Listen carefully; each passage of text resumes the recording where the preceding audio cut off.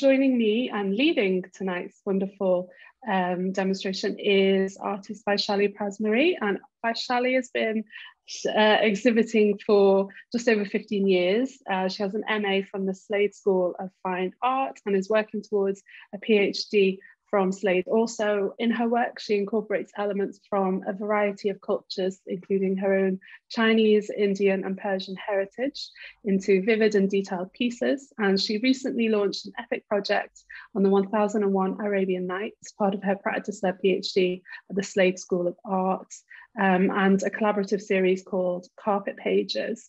Um, Vaishali has very generously agreed and offered to run this demonstration to give you insight into, um, into miniature paintings. So I'm going to hand over to her in a minute.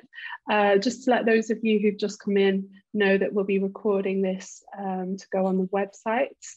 So feel free to mute and um, turn off your camera if that's more comfortable for you. And I'll be fielding questions for Vaishali throughout the demonstration on the chat, so you can post them there. And on that note, I will hand over to Vaishali and uh, let her take it away. Hi everybody, I'm going to change to this little diagram. This is just a temporary uh, diagram to just take you through what we'll be doing today. So this is miniature painting. It's a slow art, that's the first thing to say. And there are essentially six main steps. So I've done already the first two, just to make it go faster, because it's so slow. Which are, and this goes for all kind of traditional arts. You can quite generally generalize by saying that the traditional arts of which miniature painting is a part go through a, pre a preparation stage. So the preparatory, prepar preparatory stage usually involves getting your drawing, then uh, tracing tracing it, transferring it onto your surface, and then inking in the lines. So these two steps have already been done. And the way we do the transfer and trace is to usually use some kind of loose pigment, such as this. So I usually like to use an English red or Venetian red, chalk or loose pigment. So on the back of the drawing or tracing, rub a bit of pigment, loose pigment, on, on it, and then you transfer it onto your surface, which is this piece of paper. I'll talk a bit more about paper in a second. So you can transfer it using a variety of different tools. One of the, I've got a porcupine quill brush I specially made for this, and that just involves keeping the drawing intact and then making the lines. So I'll do little and that should transfer oops transfer over here. And you can just see it's a little fuzzy. That's because this pigment is loose and not bound yet. By contrast if I do a pencil line that's, that's what it looks like. Some people like to use pencil. I like to use this pigment way because it's softer and more natural and it forces you to redraw the lines when you come to painting them. So in terms of the stage these stages we are now here ready to ink in the lines and by the way, this is, this is something I came up with, it's not official. I call it the House of Miniature Painting as a way to describe the technique. But this main house, this preparation layer, takes absolutely ages. It takes half the time of the entire process. The next stage, inking in and then color, color fill, we'll do together from now on. So inking in the lines involves tiny brushes. Get a, a small brush here.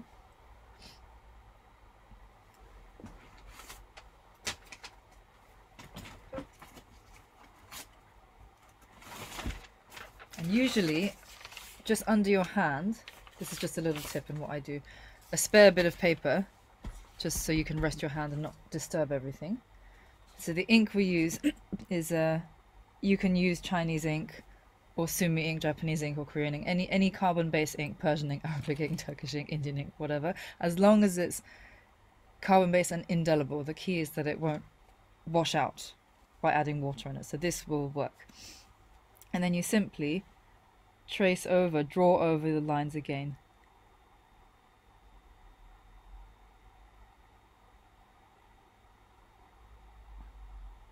And you should see instantly it becomes quite sharp because I'm using ink now. Ink is a is a fluid medium and the pigment, or rather lack of pigment, the, the colour has been bound already.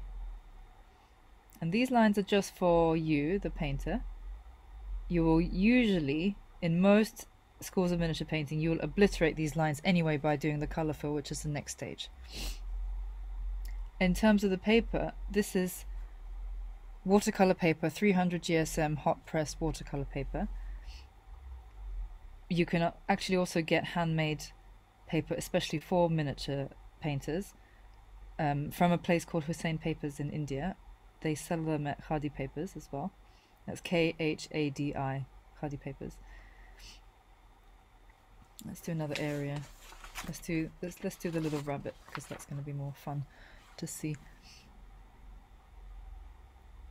And then with the kind of shop bought paper, you need to do a process of preparing it for the miniature for these really fine lines to make it ultra smooth. So that involves, so this is the, the original paper, bright white paper.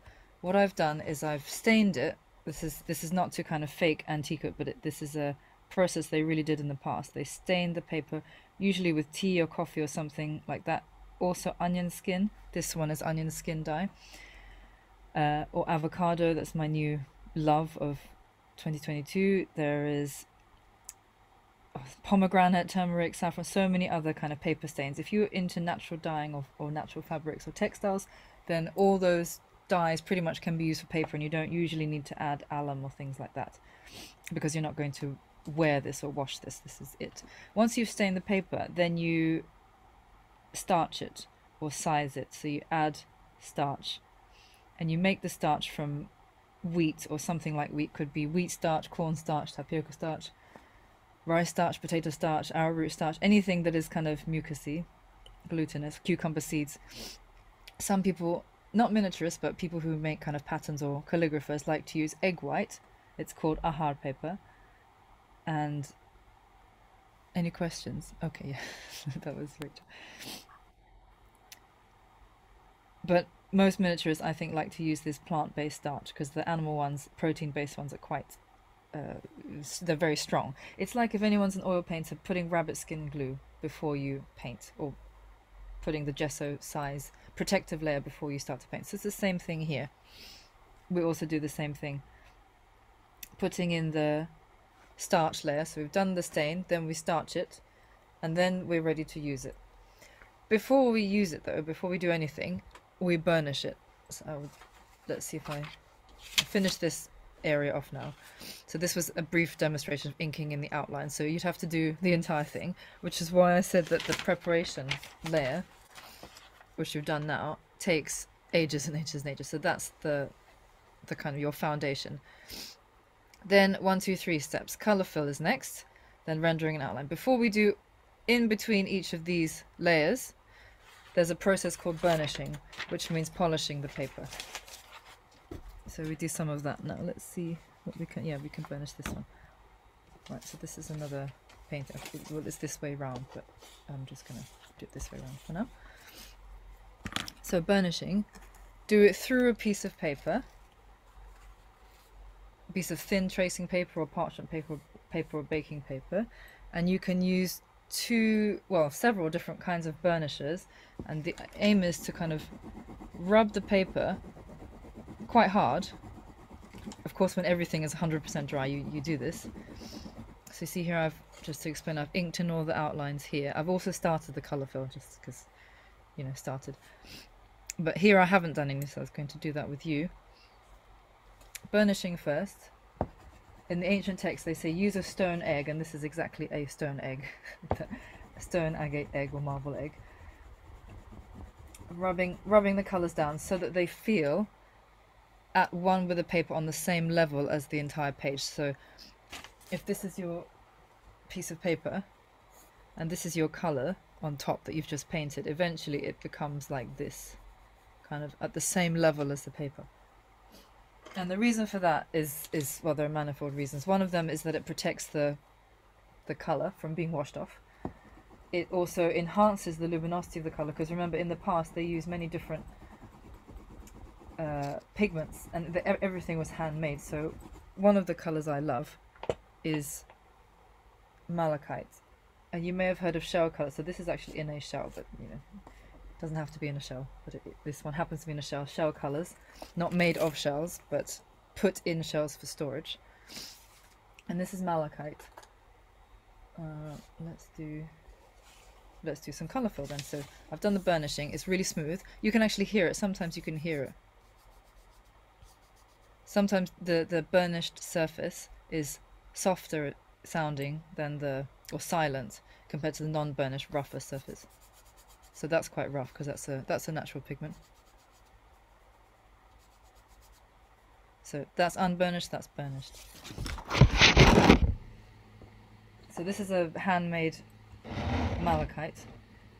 Malachite is a semi-precious gemstone, so the another reason for burnishing is to make them shine, polish them, so they're lustrous. And another reason is that it just because you're kind of batting them down to the level of the, of the paper, you're actually preserving them. It helps to it helps with longevity. And another reason is because these this is a book art, so the paintings went in books. And in order to be able to turn the pages and so everything wasn't so thick, they they made it kind of as one layer, so you could turn the pages. So this is some malachite. Just paint that in somewhere. Maybe some of the leaves here. Okay. So in practice, you don't have to use handmade pigments such as this. You can also use shop bought watercolors. You may see it written when you see kind of the materials list of miniature painters, some people say gouache. I actually don't like that term gouache because gouache is a specific kind of different medium. Actually, it's, it's not technically watercolor because it has a lot of fillers added into it. And this is just the natural stuff. Watercolor, pan watercolor, is likely to be more pure. So it's what paint is essentially is pigment plus gum arabic plus water sometimes honey or, or things like that, but generally the, the sort of recipe is pigment, which is malachite in this case, plus gum arabic plus water. If you had the malachite pigment added oil, you'd have oil paint. So the pigment is, is very flexible. Add egg and you have, you know, egg tempera, things like that. There are a couple of different ways to do this colour fill layer. Okay, it's moving around. So this one is the easiest. I'll do I'll do it again. It is let's call it the the flooding method. So you just trace around around the outlines quite carefully now and you see actually you can see the the lines are being obliterated slowly and this is the point so when you have your inking in the lines of course you have to be careful doing it but also knowing that the lines will be covered and I get asked a lot so why bother doing it then why not leaving it pencil there is something about the muscle memory of doing it that makes it easier. There's a lot of repetition in miniature painting and a lot of yeah, patience involved. And it's part of the tradition as well. Just... Vaishali, you mentioned the question you get asked. Is this a good point to put to you? A couple that popped up in the chat. Yeah, go ahead. Yeah, so um, Michelle asked, what did you use to copy your work? So tracing paper, sometimes self-drawn. Do you do you mean in terms of the original images or actually how to do it, the trace and transfer? I'm not sure. Rochelle, do you want to come in and ask or pop it in the chat and I can field it to Vaishali? Because this one, for example, this image originally is a it's a very interesting one. This is a miniature painting copy of a miniature painting copy of Dutch print. So I was very interested in in the original Dutch print, which a miniature artist saw, and then I've obviously modified it and changed it. But but I was interested in this figure, this melancholic man. And anyway, so what is it? Was it that, or was it how to actually physically do it? I'm not sure. I've asked the person who asked the question to uh, to clarify in the chat. Okay. Um, uh, I'll let you know if they do. Um, somebody else has asked, Marie has asked, could we have a material list, um, if that's possible to provide that for uh, attendees, the materials that you've been using? Uh, sure. Uh, actually, I have a materials. I, there's a forum for miniature painting online. I run it with with a friend, and it's called miniaturepaintingforum.com. And under, I think under resources, there is just a full materials list there. Okay, great. I'll, I'll find that link and pop it in the chat. Um, and Marie also says, thank you for your time and kindness, loving what you're doing. So I'll let you get on now and field any more questions, maybe in about another 10, 15 minutes. Okay, I mean, you can just do them as they come if you like. It's, it's okay. Up to you, Rachel. Actually, I'll leave it to you. Um, yeah, still doing a little bit more of the colour fill. I'll show you just another way, and that is, this is a little more difficult maybe also to show, but it involves, there's a bead of colour in the, in the watercolour itself, the opaque watercolour, and we're using it in a very opaque way as well, and it's just to field this colour, just kind of there's no real nice way to explain it, but just kind of make sure it blobs down in the right way. So you keep keep moving the bead of color down the surface. And if you can see at the end it will it will blob. This is quite a, an opaque color anyway. But those of you who are watercolorists will, will know what I'm talking about, the, the bead of color and then you just move the blob of water down, the bead of water down. Um, but that but that's yeah again quite difficult. And then the other, the, the just to kind of size up a little bit, there's another technique. This is called the full color. Stand the, the majority of miniature paintings are painted like this, but there's another method which uses the watercolor not in an opaque way, but in a very translucent way, in a diluted way, which is called nimrang or or mirang, half color, and that just gives a very I mean, you see it a little bit here, but generally they don't mix it. Let's do one example here. Just as a half kind of light wash of colour. And by the way, these, you can see the bead maybe more clearly here. I've had a question asking, are you copying the colour scheme as well as the drawing of this painting, or are you using your own combinations? Oh yeah, that is definitely my own. This was a very melancholic um, image, so no, this is completely my own combination com completely. Uh, what can I say about the colors? I mean, th this is a whole big rabbit hole. One of the rabbit holes is paper. One of the rabbit holes is brushes. I went into the brushes rabbit hole because it seems kind of finite. There are only so many hairs you can, you can make a brush with. So I make my own brushes. I, I created a series of miniature painting brushes. They're all on the this forum. I'll send you the link. The colors is a huge one. There's so many pigments and so many colors uh, in the world. Uh, so just as very very briefly, malachite is just one of my favorites. So just easy. What else can I show you? But there are so many the blues and greens. I'll show you an example here. and and there are so many colors within colors that if we say we finish this this this color fill for the demonstration because the real work and this was quite fast in what you saw I managed to kind of just do that that little part of the leaf fairly quickly. Then we move on to the rendering and the outline. These take ages to do. This is the this is the real painting. Everything here, in fact, even the color fill, this is the preparation. And and this is actually because you're just applying the color, you're not really painting it as you would imagine painting, you know, giving it form and yeah, just giving it form. There's no real shadows in miniature painting. That's one of the reasons why it is kind of permissible because they are not real figures or faces or human beings, whatever, they, they have no shadows. That's one thing I also get asked. So this is applying colors, not really painting. But these two, the rendering, which sometimes people translate as shading, but there is this difference, it's a subtle but important difference in meaning because you're not creating shading with shadows. You're just showing, revealing the form for what it actually is. That's the rendering, which takes a long time. So as you go up, it gets drier and slower and then that fine outline. So we'll do some rendering.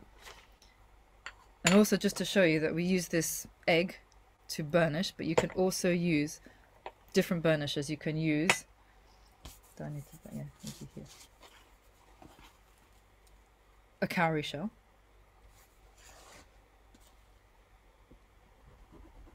Cowrie shells are quite nice to burnish.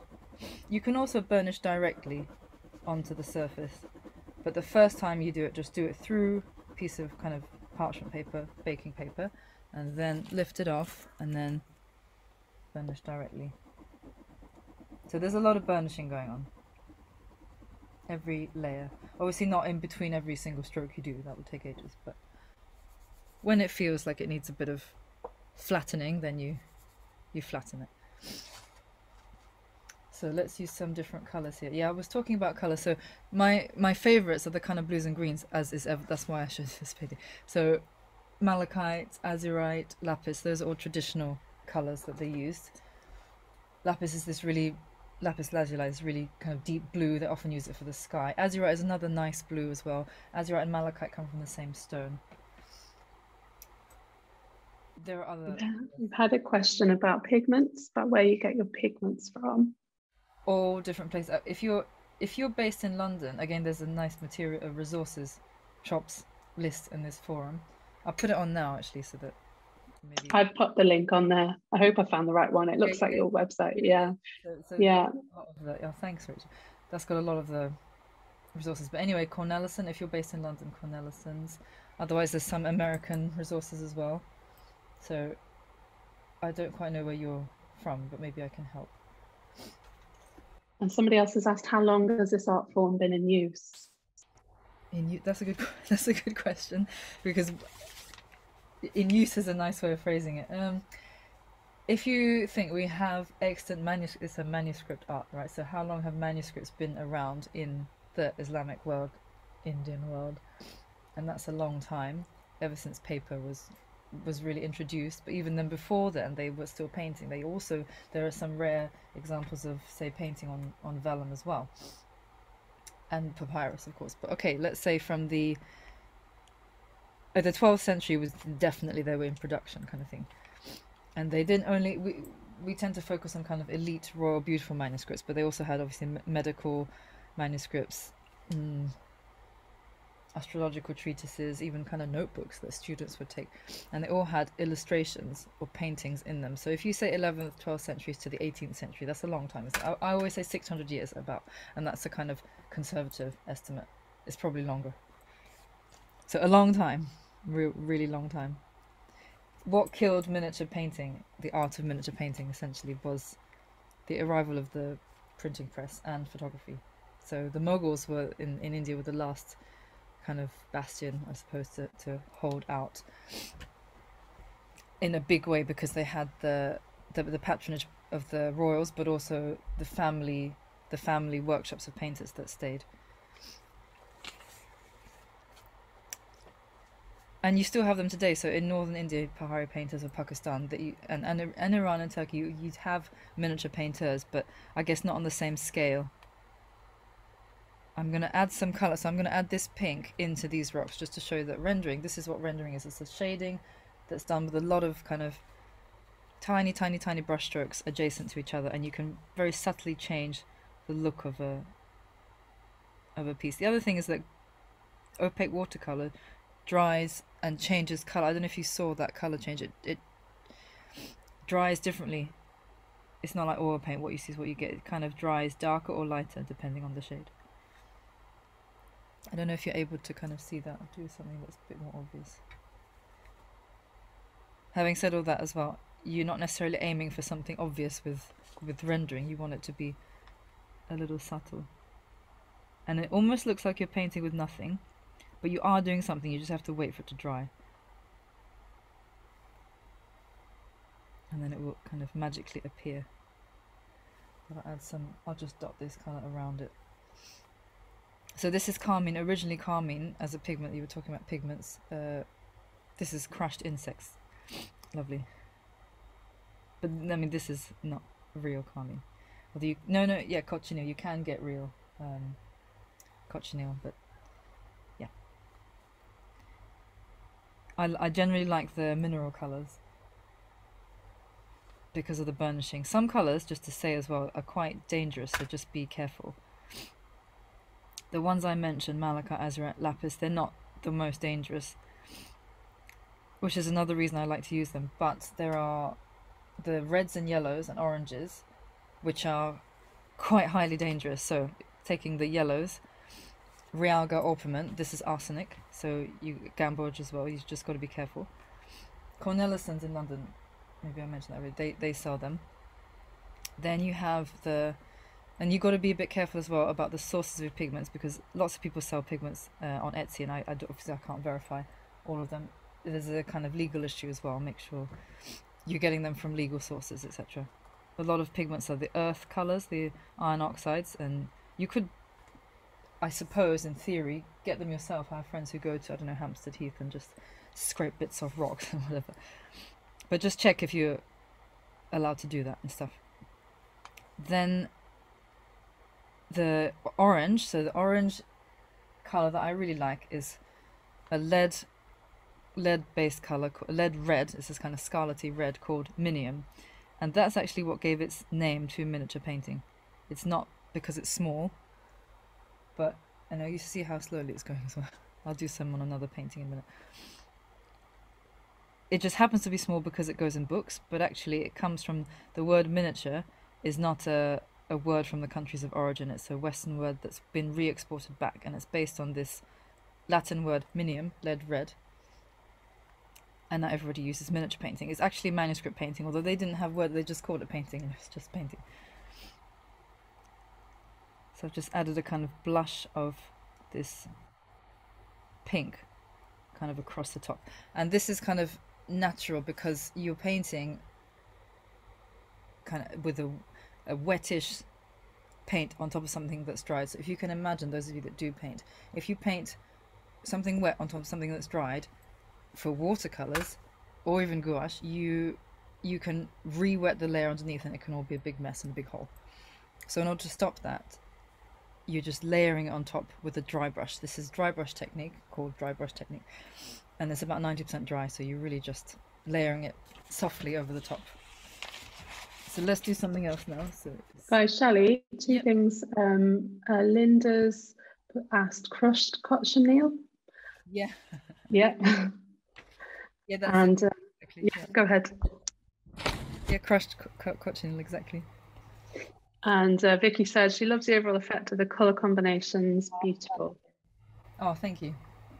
Yeah, but the thing is, it's this kind of sensibility, I suppose, that I suppose I have or have grown up with, and yeah, you find it uh, just by looking at a lot of miniature paintings. I suppose they really knew about color and a lot of color. I was now just going to use a, a, bright orange that's very similar to to this minium that I was, this is very similar to minium. Sindoor is called in in um, many Indian languages. If you buy pigments from India, sindoor. Very poisonous, but very nice. I just really like it and just it made me think of it, so I thought, oh well, I'll do some here. So that's the orange, and then the the red the famous red, which is similar to this one, but this is not it because this red is really, really toxic. It's called vermilion. Chinese vermilion is the, the real vermilion. Cornelissen sells it. Or you get French vermilion, which is, you may have seen or heard of French vermilion. And just draw in the rocks quickly. And then we start to render.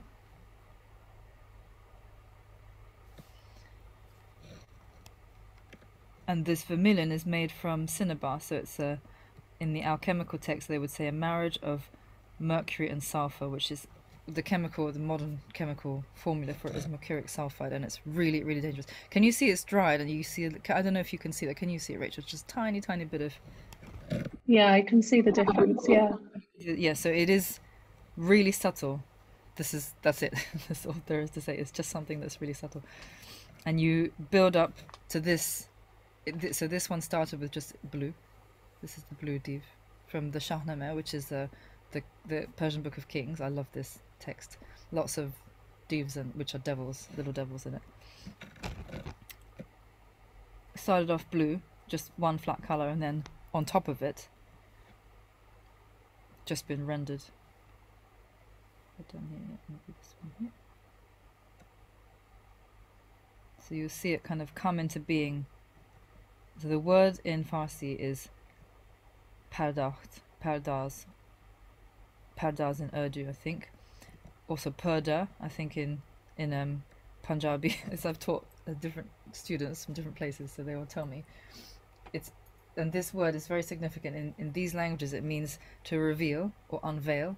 It's to do with veils or curtains or this kind of something that opens and closes and reveals the light. So you're revealing the form for what it is yeah you, you can pretty much see that it's just several layers so I've done one layer. It's called this one layer.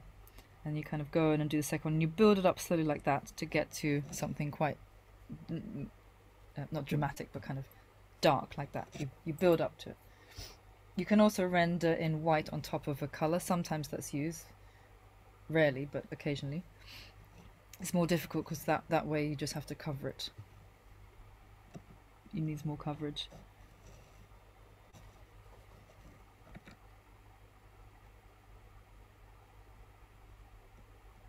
So very soon after this dries, we have to burnish it to flatten it down because now I've just added some layers on it and if you want it to be a bit more subtle. So you would burnish. I'd wait for it to dry and then tamp it down. Let me see if there's any more. Oh yeah, there is something I really wanted to work on as well. So one thing we haven't talked about actually in terms of colour is gold. So I've done a bit of rendering there. Gold would have been done just before the colour fill after the inking in stage. So we are now on the little plan. We're still we're still rendering. Yeah, we're, we're still here. But in, in between the inking in and colour fill, there is there is gold gilding. It just takes a long time, so I didn't show that. But there is that that option to gold gild. I'll show you this this guy here. This is a really exaggerated, blown up version of a Mughal. I had a question about what precautions you usually take while working with toxic pigments. Okay, good question. Um, the toxic pigments are usually only toxic if you ingest them. So if they're bound in you saw my show, this is completely safe. As long as I don't eat it or lick the brush, and don't lick your brushes, don't eat it. That's the first thing to say. It's safe like that. However, if you're going to make your own, that's a different story because they are finely ground powders, and I've made them, you know, from crushing my own malachite stones and and making pulverizing them, and that's when it's dangerous. You have to wear a mask. And I've only really done it with stones that are not super dangerous, like malachite, azurite. Although it's, it's, it's not the actual inherent properties of it that make it dangerous, it's the fact that they are tiny, tiny, tiny particles that just get into your system. Um, so that's the problem with any color. Obviously, if you're going to use something like cinnabar, which is the mercury sulfide, that's really just be careful. I had I had a tutor once for a stained glass class. I did, and she had a, a toxicity blood test every year because she was just working with lead and you know, and lead is in in paint. In fact, again you can buy it in Cornelissen's, but lead white colors that they would have used in the past they're just banned nowadays in most art shops. And in fact, at Cornelissen's they don't even sell it as a paint. You have to make up the pigment yourself at your own risk.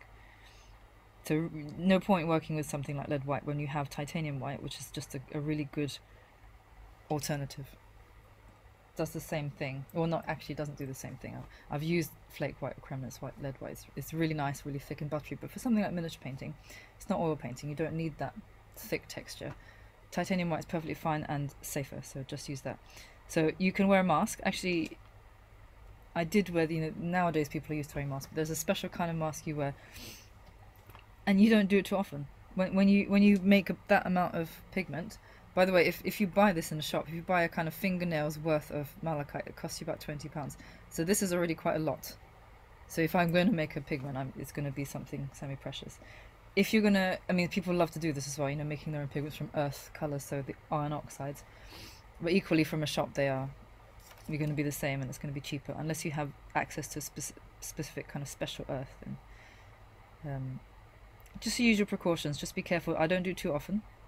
That's I would say the main thing is I don't do too often. I don't need a blood test every year to check, you know. Uh, wear a mask and do it in a well ventilated area, and obviously wash your hands and everything. Um, and if you can, just steer clear of the really toxic pigments. If you don't have to have it, like white, you don't need to have white, then don't use it. That's another. That's a really good way of just kind of abstinence. Don't use it. There are colours that are irreplaceable. For me, that's malachite and the those colours. But some people say that okay, cinnabar, this this beautiful rich red, is irreplaceable, so they they use that, you know. But you just just be careful. By the way, what I'm doing now, this in Turkish, I think it's called tarama. It's the same word as no, it's not the same word, same meaning as pardakht, which is the rendering. So still rendering, but it made me think of it because in Turkish the meaning is combing like combing hair, and this is I'm painting hair, so it just happens to be. We've had a comment as well about lead, um, saying plus the lead white could eventually turn black over time. So overall, better to use a safer modern white pigment. Yes, yeah, because you do get some purists that only use, you know, they only use the traditional stuff. But then there's all these other things that the traditional artists would know that we don't necessarily know or have the knowledge has been lost. For example, exactly, even in oil painting, which colours to surround lead white with. That's why that's why certain traditional paintings have a certain look because they knew that okay, this color interacts with such and such color. Don't put it on top. Verdigris is another one that changes. It's beautiful turquoise. I love this color, but it's just unstable. It's, it's fugitive. It's not going to last. In fact, that's why, going back to malachite, it's like malachite propaganda, sorry, or azure or anything like that. It's because they are mineral colors, and the mineral colors are the longest lasting. So colors can be divided into earth colors, which are the oldest. You see them in cave paintings, the oxides. They're very stable as well. Then you have um, your mineral colors, which I've talked about, could be th these ones that I've talked about. Then you have animal colors, which actually we've mentioned. This is carmine or the famous Indian yellow, which is, you know, a bit of conjecture as well. The feeding cows on mango leaves to. It's also a little bit animal cruelty, so I don't don't want to kind of. I'm not interested in in um, finding the real source of Indian yellow, as some people may be, because I just I'd rather that cows were happy. and then you have the plant colors, which are the most fugitive of all. Plant colors they're derived from plants and they exist, they come into life as a liquid. And then you have to do a kind of special process to make that liquid into a solid, i.e., to make it into a pigment, which you then make into paint. And they are fugitive, meaning that they they are they will fade. When you look at old tapestries or even old carpets or, or any old textiles, and maybe some of you are textile people, there's certain colors that fade and, and a lot of them are plant based and the mineral ones are the ones that last. So the in terms of the greens because green is a very kind of and blue they're famous kind of fading colors so malachite is a good one because it is more permanent. And then you have the what the so-called alchemical colors which is the cinnabar things that are they need human intervention to be made at all. So these two minerals are put in an underground kind of crucible and exploded and things like that. So you see, I'm really, I started this painting in 2020, I think. Was it 2020, something like that? I think 2020, or maybe very early 2021. And it's just carrying on because his face is done, this, this, this was done.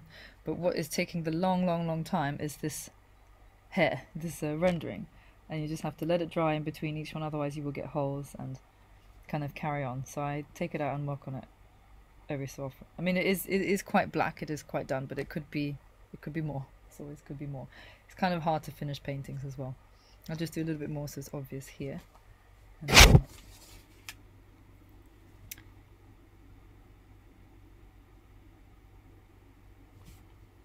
That's just short or long dashes and dots, adjacent strokes next to each other.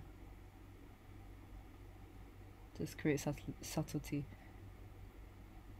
Yeah, so uh, we only touched on gold briefly, just to say that can be gold. They also use silver in terms of colours changing. They could.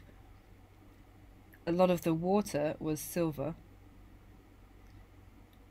gilt with silver. I'm not sure what the term is. I think it's just to silver something. It was silvered, and then that tarnished over time, so it becomes black, which they knew. So it's kind of a mystery as to why they did it at all, knowing it would tarnish over time. And we talked a bit about ink. I'll do a little bit more rendering here.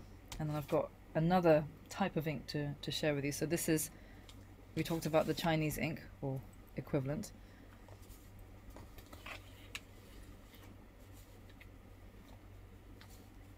And just to kind of darken things.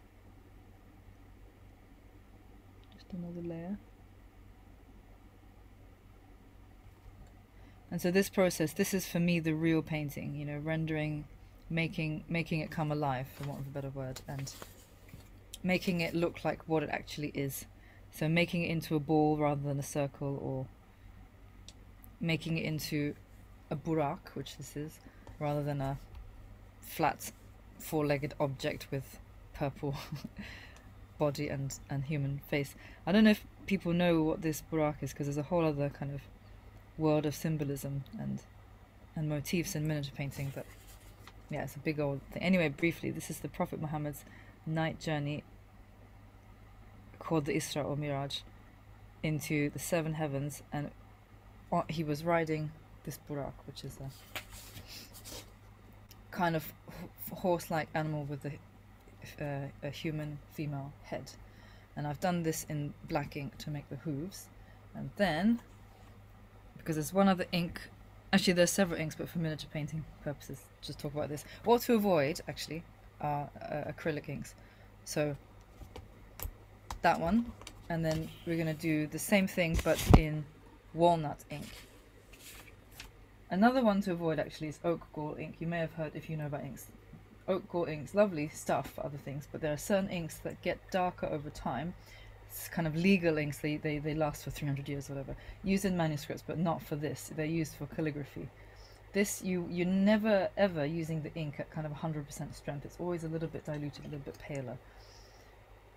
Because the, the, the really darkest ink is used for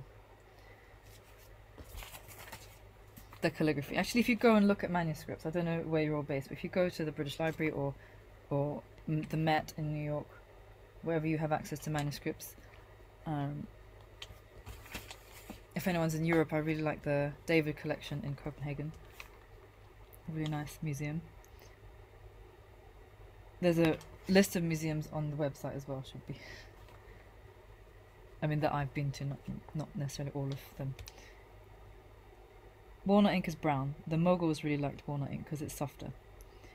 You can mix the walnut ink with the black ink. You can mix so you see I'm dotting it around because I'm just starting it now. So I'm not going to do finish one hoof and then kind of move on. I will do all, I will work on all four of them at the same time and then soon we'll move on to the final outlines as well.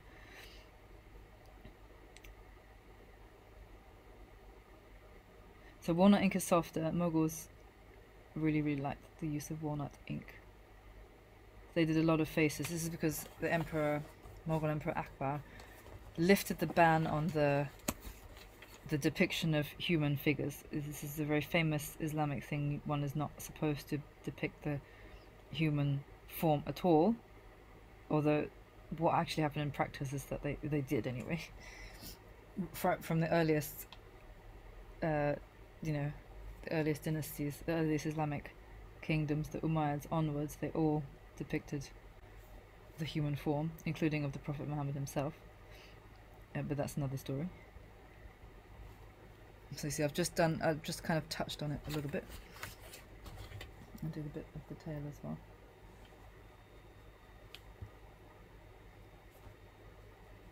So I would say at least, I mean, this is probably my opinion, but the opinion of some scholars as well, the kind of hate, the height or the epitome of miniature painting was in the Safavid and Mughal times. This is the Indo-Persian miniatures people talk about at least the two schools that I guess I'm most familiar with that I like, although there are others, I just don't know so much about them. There's Ottoman painting, Arab miniature painting, there's a lot. There's the, the Chinese influence, Chinese painting influence on miniature painting is also quite famous. There was another Western transmission from um, Byzantium that's less lesser known, but it's still there from icon painting and things.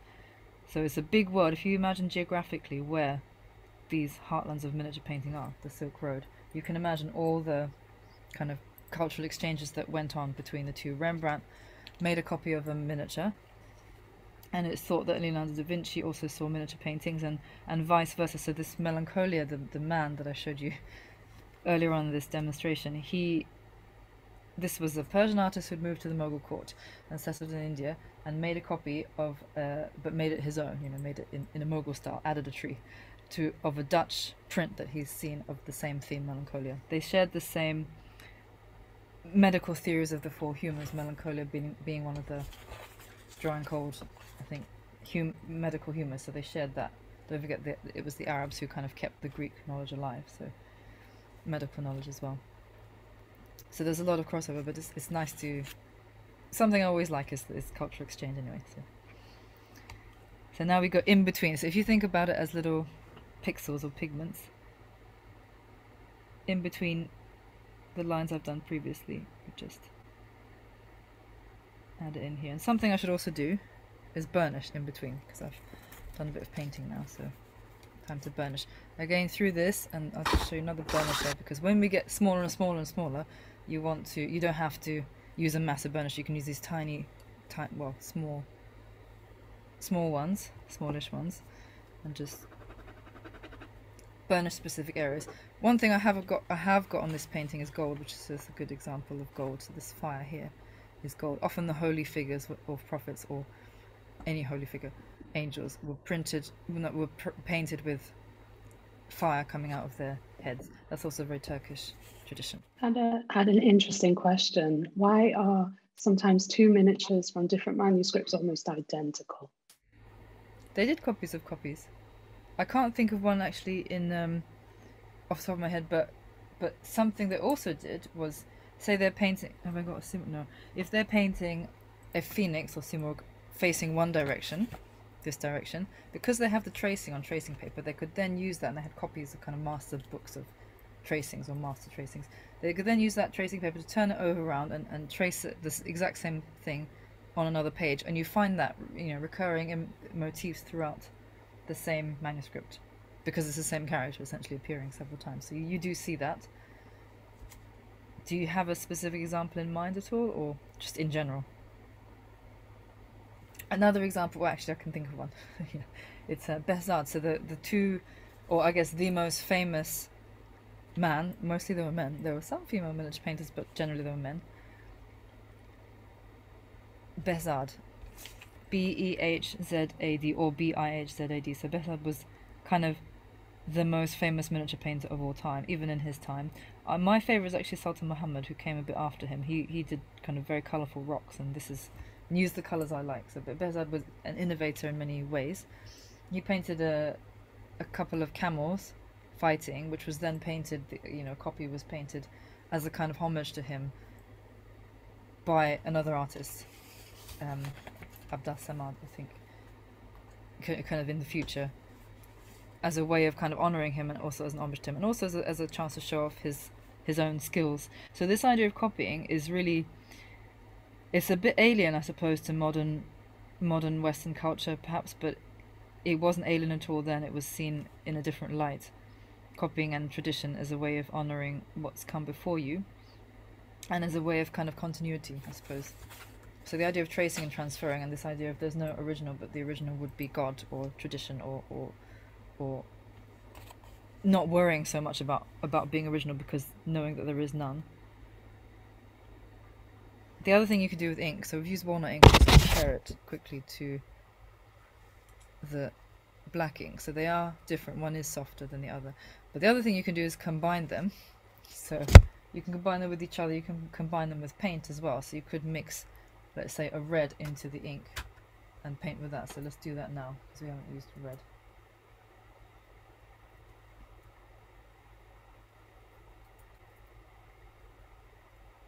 So for me, I use cadmium red. Cadmium is actually very poisonous as well. It's a heavy metal, but less poisonous than than cinnabar, and and is a really nice bright red as well. You can layer over the ink or actually mix directly into the ink themselves. You may not notice this uh, completely. You probably don't see it at all.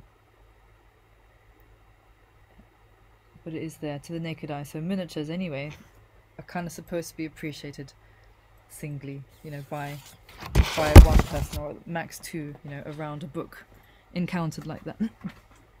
okay, and then let's go to the final outlines. So, this is an image of water. We'll go back to the ink now. Some you can also oh I've got silver here as well. So this it looks a bit grey, but this is a silver. Yeah, if you can see. So that's a good example of silver. Nowadays, if you're going to gild with silver, most people don't gild with silver now because we know it tarnishes. So they would use palladium or white gold or platinum or something like that, which you can also get. So the final outline, sometimes you can even retransfer because if the colour fill is so thick, you can just retransfer on the top. Maybe not all the lines, but just some guidelines to help you. So just really slow. So this is this is it now. This is the final outlines. Sometimes lines. Well, there are two types of lines. Let's say. this is something they didn't take from China. China has a lot of different, Chinese painting has a lot of different line um, weights and, and types and thicknesses and styles, but in miniature painting they're essentially broadly only two because it's also about the colour, not the line, even though it's the art of the line, we say. There's the line that's absolutely uniform and straight, like that, so there's no variation. Then there's a line with kind of nuance, which kind of goes thick and thin, so you just add pressure onto the the brush as you kind of move it around. This is a natural form, so we just make it how we want. And then here we do the lines, so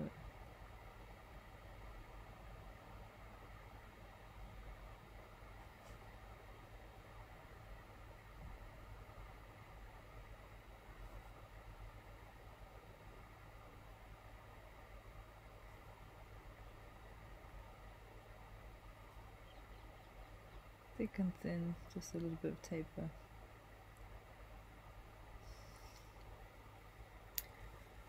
Uh, I'm just thinking maybe I should show you some gold anyway because I haven't shown you anything gold yet. I mean in terms of how to use gold. So I've talked about gold gilding which is you know done in the beginning. oh by the way we're on here no pencil, but we've done all the steps now, rendering blah, blah, blah, so we're on the final outline now, just to, so it's clear structurally in your mind. Let's use some gold as well. So, gilding has to be done before the colour fill, for various reasons. One, I guess, esoteric reason is that gold is sacred, so you get it, you, you do that before anything else. Another practical reason is that it sticks to everything, so you just want to do that before there's any paint on it, otherwise it just sticks to everything here. Gold paint, real gold paint, is, is called shell gold, again not because it's made from shells, but because um, I'm just going to liquefy all this first. It's not made from shells, it's made from real gold that's been pulverized into a powder that powder's then been mixed with gum arabic and water and then you have real gold paint. But it's called shell gold even in shops today. Or you can use gold watercolor. Gold, this kind of gold, gold paint, can be used at any point in your painting journey. So, so that's good. You don't have to kind of plan for it. You can use it. They, they often did if you're painting a figure. For example, you do the jewelry at the end. So you liquefy. I'm glad I showed you this actually because this this is true for or pan watercolors, you kind of have to reliquify the whole surface, especially if you're using, you know, shop bought, I don't know, Winsor & Newton artist quality one. Always use artist quality because the student quality won't give you the same look. And then I use the tiniest brush. Now, do small bits here. And the gold. So I call this one the clouds brush for a minute, just do. I wonder if you can see that. Mm, oh, you can see that, yeah, but it's just. It will look quite dark, it's funny, and then on its side it will kind of just. This is the proper. You can. Let me see if I can show. Yeah, this is the gold, if you can see. And this is the. the, the I guess the point of, of a manuscript, any medieval manuscript as well, illumination by candlelight. You know, pre-electric ages. This is the beauty of them, is the gold really and the pigments that shine, and you only appreciate some things in in in real life. If you ever, I mean, this is a huge art form. I always like introducing it to to new people, but it's a huge rabbit hole. You go to so many areas to the gold is another rabbit hole. It's, it's a kind of medium in and of itself. It's such a beautiful thing.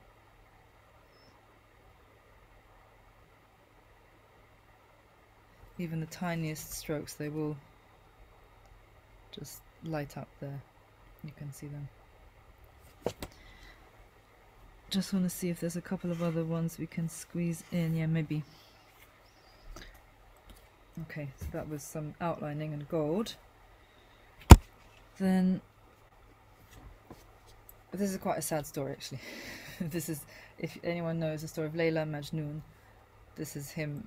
This is the Romeo and Juliet basically. It's like Romeo and Juliet. So he's quite sad. But I just wonder if there's any outlines I can do. Yeah, there is. So I'll do some outlining now, but in walnut ink.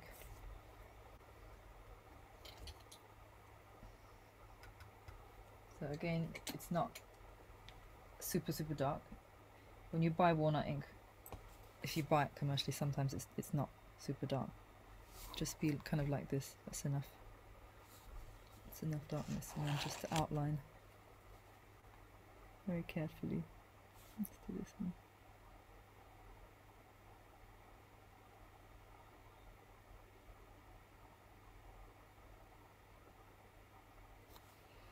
I don't know if you can see there's a difference on the left hand side as opposed to the right hand side and outlines are not supposed it's not stained glass it's not supposed to be seen immediately at first sight. It's not make the outlines are not making an impact at all. They're supposed to be seen only at, uh, on kind of second or third glance and you only really notice them when you look up closely. They're supposed to be quite subtle. And yet most of the miniature is outlined. There are exceptions like in the rocks you don't really outline every single kind of crevice because that would be difficult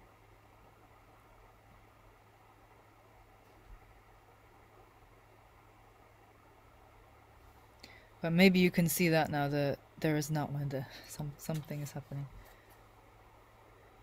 do a little little figure as well. So these Mughal artists, this is from a Mughal painting, were influenced by I mean there's stuff going on there but I just made it kind of fade into the distance. You see I at least I see I see Bruegel in it. I see influence of Dutch prints on it.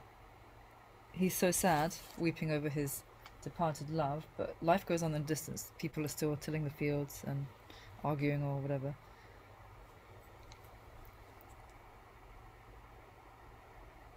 Ideally, you do it in one stroke, like I'm doing, but if, if not, it's not a problem as well, as long as you're kind of keeping to the one, as long as it looks like in the end one line. So it's never ever kind of sketchy lines like this. It's one decisive line that would make a an outline. That's what makes a miniature.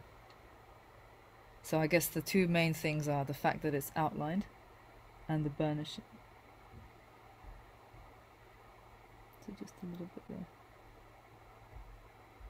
And then just one last one. To, yeah. Which is this one. It's kind of nice to end on him actually. He is the prophet Mani. You may have heard of Manichaeism, but he's the other myth mythical kind of figure that was supposed to be one of the best painters in Islamic culture, Mani is still lauded as this mythical, you know, legendary, really good painter because he preached his philosophy through painting. So just outline the pair of little pair of scissors.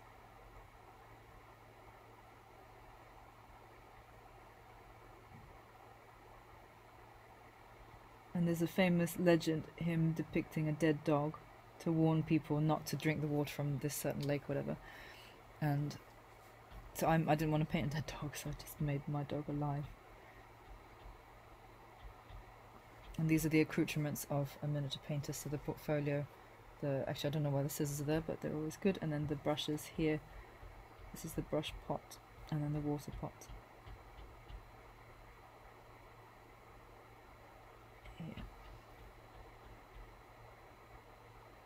Okay.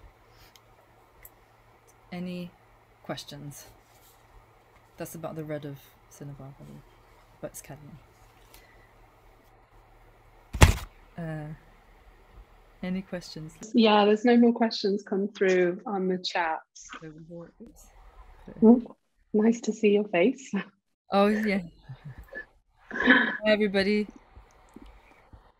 Um, I, that was so so beautiful. I don't know about everybody else watching, but I found that so meditative just watching the strokes, um, watching you paint really slowly. I can see what you said about it being slow painting, that you take your time with it and you're really, really thinking about the placement. It was absolutely fascinating. Um, lots of lovely comments coming through, but we haven't got any more questions unless anybody wants to, to step in uh, and uh, unmute themselves, please do that was quite a whiz through miniature painting, so I think I was quite comprehensive, maybe quite overwhelming because I just went through a lot of different paintings and showed kind of all the processes. Um, so normally when I teach, it's just very very slow. But for a demonstration, it might be a bit boring if I worked on the same painting throughout. So I just thought I'd skip. Well, we've had lots and lots of appreciation here, um, but no, no further questions. Uh, so I think we'll we'll wrap up there. I want to say thank you again to Vaishali for such a somebody said soothing, which it was, and peaceful, um, and inspiring as well.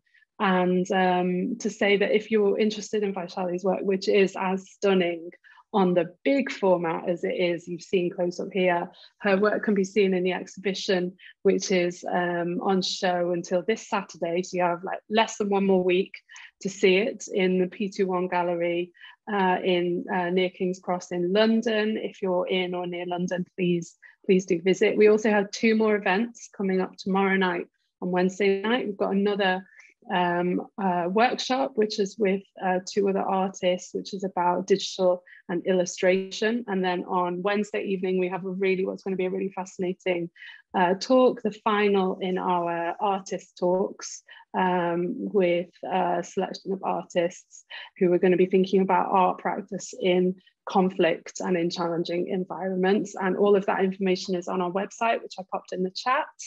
Um, so please do please do stop along, sign up for their talks. And thank you again to Vaishali. That was a really, really great demonstration. I feel inspired. I have no artistic bone at all, but um, and thank you everybody for coming. Really appreciate it. Thank you.